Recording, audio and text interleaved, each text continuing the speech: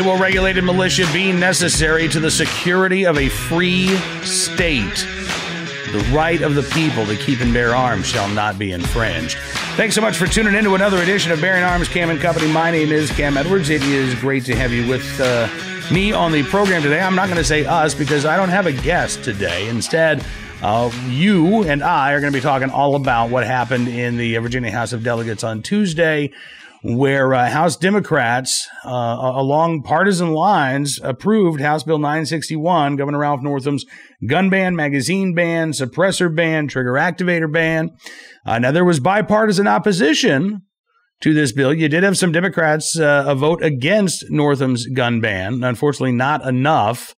Uh, and so the bill is now heading over to the Virginia State Senate, where it does face an uncertain future. And we'll talk about what that future looks like. But I also want to look back at, at how this bill uh, looked when it was first introduced. And as a matter of fact, how Northam's gun ban looked when it was first introduced as a Senate bill that ultimately was killed by its original sponsor.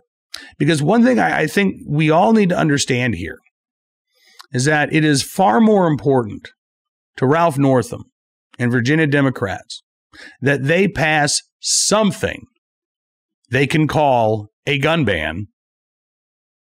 It doesn't really matter what these specifics are, at least the specifics don't matter as much as being able to hold that press conference and to be able to put something on the books that they can build on.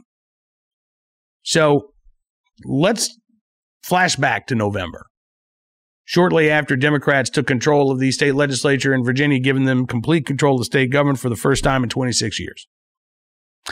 One of the first pieces of legislation that was introduced was a, a bill called Senate Bill 16.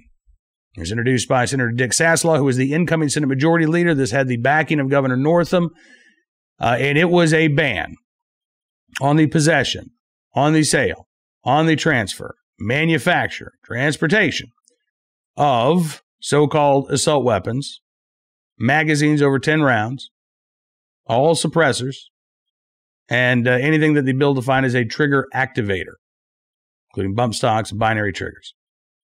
It would have made continued possession of these items a felony in the state of Virginia. And there was an immediate backlash.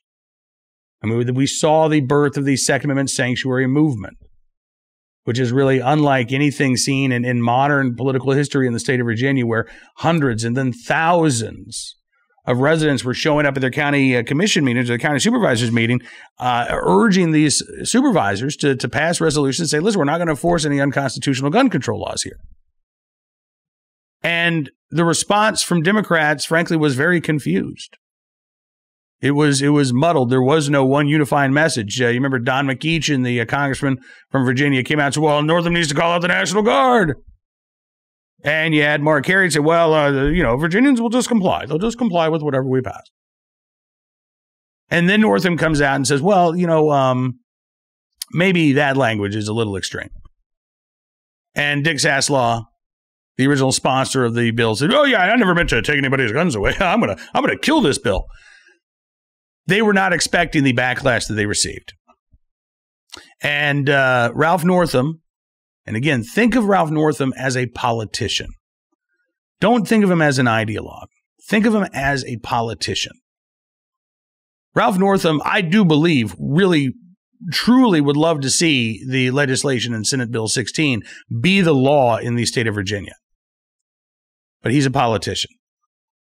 Politicians care about getting as much as they can, not about getting everything that they want. They're not going to let what they would consider to be good be the enemy of perfect, right? So Northam now knows. Okay, I'm not going to be able to, to get that through the uh, legislature. So we'll, uh, we'll we'll we'll say we're going to pull that bill back. We're going to introduce a, a House measure, uh, and and people will really like that, right? Weeks go by, Senator Saslaw's gun ban was one of the first bills that was dropped, pre-filed, uh, for the legislative session. But but after this backlash, they did not introduce House Bill 961 until the day before the session began, January 7th. And then we saw that really the only substantive change to the bill was that the ban on uh, the continued possession of your so called assault weapon had been dropped, and instead you could receive permission from the Virginia State Police to continue to own the gun that you currently own as long as you registered yourself and your firearms with the state police. Yeah. So now you'd have a list of all those guns that uh, you actually told people would be a, a, felony for them to possess originally. You got a list of who owns them, you got a list of what they are. As you can imagine, that didn't fly either. We started hearing from uh, Virginia state senators, four of them, that they objected to the language of House Bill 961. A couple of them actually came out and said outright, I'm not going to support a ban on, on guns or magazines. And Democrats over on the House side were concerned. So the bill was introduced on January the 7th. Crossover deadline. Bills originating in the House have to cross over to the Senate. Uh, Senate have to cross over to the House February 11th. And House Bill 961 does nothing for weeks. Doesn't get a committee hearing, doesn't start moving. It's just sitting there because it doesn't have the support. Meanwhile, Governor Northam and uh, Democrat House leadership they really want this bill. I mean, this is sort of the centerpiece of the governor's gun control proposals. If they can't get this through, you know, it'll be, again, it'd be good for the governor, but he wants it to be great. And he thinks he can get it. And again, he's got a lot of wiggle room. He's got a lot of room to negotiate here. So the first thing that goes when the bill does start moving, because it was Fisher cut bait time. So they had to schedule it for a committee hearing hoping that they had the votes to get it, and they started watering it down. All right, so we're going to drop the, the registration requirement for the so called assault weapons. Now it's just a grandfather clause. Uh, no more could people buy them. No more could people uh, manufacture them. Uh, limited transfers, but uh, but you can keep them if you got them, and you don't have to register them with the state. That brought some folks on board. They raised the magazine ban from 10 to 12 rounds, which I got to be honest with you, I don't think that did a single thing other than demonstrate how arbitrary and capricious this entire piece of legislation is. Because there's no substantive difference between 10 or 12 rounds. Why not 15 rounds? Why not 20 rounds?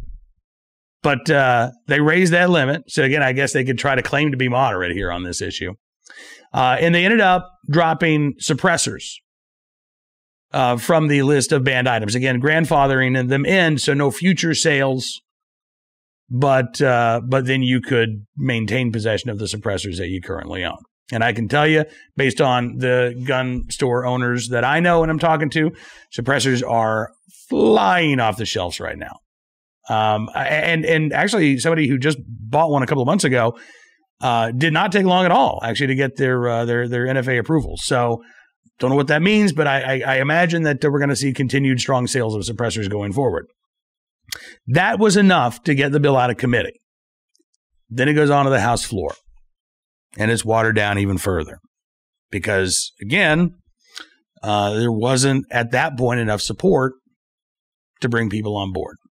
So the uh, possession of a magazine over 12 rounds uh, the the penalty for that was reduced from a felony to a misdemeanor, and the bill narrowly passes with a three vote margin, fifty one forty eight. Uh, again, I think there were three Democrats who voted against this measure. No Republicans voted for it. Now it goes over to the uh, state Senate side, where ostensibly you still have four Democrat state senators who, who object to the language, although they now can say, well, I, I objected to the original language, but it was changed enough that uh, that I could support it, and that's my concern. They can also modify it further. They could drop that misdemeanor of uh, uh, crime of possessing a magazine, and by the way, it would still be a felony to transport a magazine that could hold more than 12 rounds. You could possess one, that'd be, well, you couldn't. It'd be a misdemeanor to possess, it'd be a felony to transport. But they can change that too over on the Senate side. Senator Lynwood Lewis, for example, could say, listen, I, am on the record as saying I can't support a, a gun or magazine ban, uh, laws that would make it illegal for people to uh, continue to own what they already own. So let's just grandfather these folks in, uh, ban them going forward, and, and and I'd be good with that. I don't know that that that is what Senator Lynwood Lewis would say, and I hope that it is not.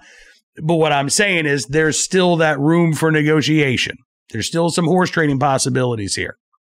Now, one bit of good news if we're reading the tea leaves, and that's kind of all we're doing here. There was a proposal backed by Governor Northam that was voted down in the Virginia State Senate on Tuesday. Same day the House is passing this gun ban, Senate Bill 67 was killed by the Virginia State Senate. That is a bill that would have set a civil penalty for gun owners who did not report lost or stolen firearms within 24 hours to their local police departments. And there were two Democrat state senators who voted against that bill, and they provided that margin that allowed the bill to be defeated. Those two state senators, Senator Lynwood Lewis, guy I just mentioned, uh, based out of the Eastern Shore, a little bit of Norfolk, and uh, Chap Petersen, who is a state senator from Northern Virginia, believe it or not. But a guy who has, uh, over on the Senate already this session, moderated a lot of these really awful proposals and made them just terrible proposals, right? They're, they're still not supportable, but he's made them slightly less awful. And he voted against this measure yesterday, lost or stolen. Now, I believe that House Bill 961 is a far more egregious bill than Senate Bill 67, as bad as Senate Bill 67 was. So I would like to think that we start right now over on the state Senate side with those two state senators opposed to House Bill 961. The other two state senators who have expressed their opposition to House Bill 961 as it was originally written uh, State Senator Creigh Deeds, who has voted for every gun control proposal that I've seen. Uh, I don't think he's voted in opposition to anyone yet. And uh, State Senator John Edwards, who has also uh, voted to approve every gun control bill that, uh, that has been uh, brought up on the Senate floor. Uh, so that's where we stand at the moment. I, I cannot tell you that there is 100% certainty that the Senate is going to pass this bill. I can't tell you that there's 100% certainty that the Senate is going to defeat this bill. I think that is very much up in the air. I think Virginia gun owners very much have a role to play in that regard. Right now, if you are a Virginia gun owner, you need to contact your state senator. It doesn't really matter who they are, but particularly if your state senator is one of the four that I just mentioned Senator Lynwood Lewis, Senator Chap Petersen, Senator John Edwards, Senator Craig Deeds, you definitely need to be in contact with their office. You need to let them know that House Bill 961 is unsupportable in any form or fashion. And I do think we've got a chance to defeat this bill.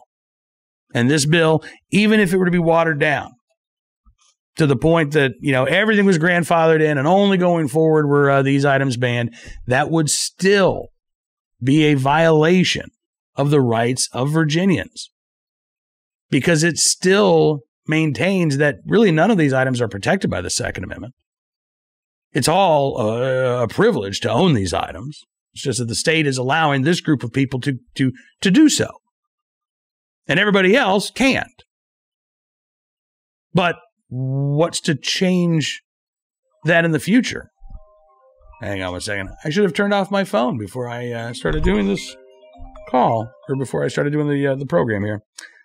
I may just have to edit that out. I think I'm going to go ahead and leave that in. All right. Anyway, um, you know, once this law is on the books, again, they can go back and they can revise this and amend it next year, and they will try to do so if they get this uh, on the books. And we know what they want. We know what they originally proposed. We know what they have given up uh, over the course of this legislative process in order to get something on the books. So we know what they would want to add back in. We know what they will try to do next year or the year after that if given the opportunity. And none of it's good for gun owners. This also, again, would uh, tell anybody moving to the state of Virginia can't bring your legally owned AR 15, can't bring your commonly owned magazines, can't bring your suppressors. So again, it, it takes the ownership of all of these items, some of the most commonly owned firearms and accessories in the country today. And it takes them outside of the protection of the Second Amendment your right to keep and bear arms, and it places them in a little tiny box. And then the state will open up that box and dole out that privilege only to those it sees fit and only for as long as they see fit to do so. So, all right, that's where we are right now. Uh, I tell you what, let's get to today's armed citizen story, our good deed of the day, and our recidivist report as well.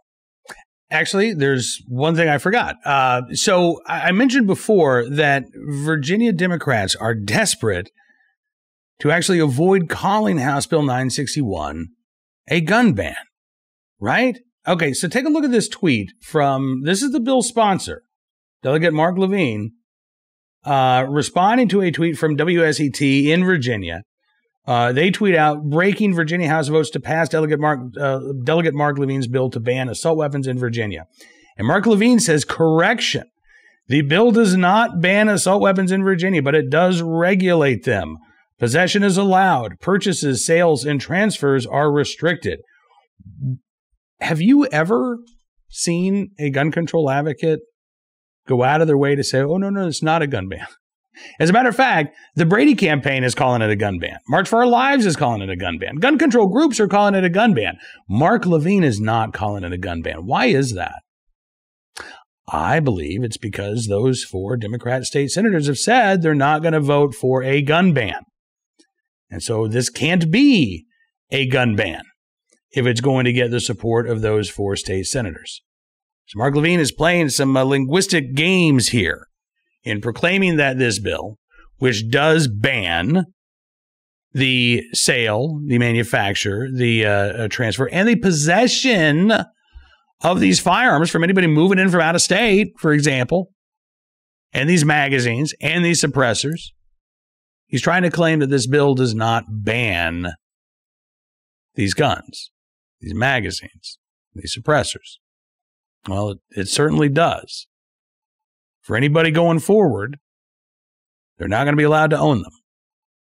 And again, those currently legal gun owners in Virginia who possess these items will only be allowed to do so if House Bill 961 becomes law, if the state gives them permission to do so, because it removes the uh, Second Amendment uh, protections from these items and again declares them to be simply privileges.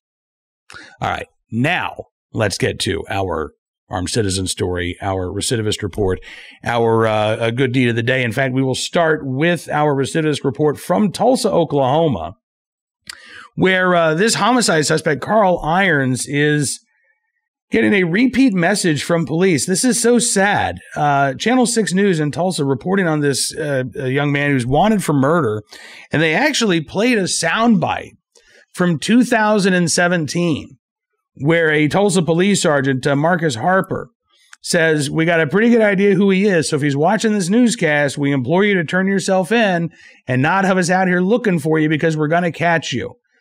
That was after Irons was accused of a shooting in 2017. He was uh, eventually caught and arrested, and he's already back out in the streets and accused now of murder. Channel 6 in Tulsa says police say Iron shot and killed 16 year old Jeremiah Morris last week while on probation for a 2017 shooting. Jeremiah's family tells News on 6 that uh, they are hoping both suspects are caught so they can get justice for Jeremiah. Uh, Tulsa police say uh, Jeremiah Morris was with a group of people going to buy a gun uh, near uh, 4th and Mingo from Carl Irons Jr. When Morris's group handed the gun over to Irons, Irons decided to use it to rob them. Both sides were armed, leading to a shootout. Um, one lieutenant with the Tulsa Police Department says they're young and obviously made a lot of bad decisions on both sides. Yeah, but let's talk about the bad decisions from the criminal justice system that allowed this murder suspect to be on the streets. Channel 6 says that Irons is serving a deferred sentence for a crime committed in 2017, arrested for shooting a 24 year old uh, multiple times at an apartment complex in Tulsa. They said they believe the shooting was the result of a feud between Irons and another man. Irons was 16 at the time. Lieutenant Watkins with the Tulsa Police Department said, I think sometimes judges and attorneys assume that they've learned their lesson. Turns out they do something even more ignorant, and people end up dying because they don't learn their lesson. 16 years old, shot a guy multiple times.